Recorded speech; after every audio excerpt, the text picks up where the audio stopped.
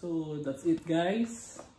So if you want more videos, don't forget to like, subscribe to my channel, and click the notification bell for more updated videos. So thank you for watching. See you!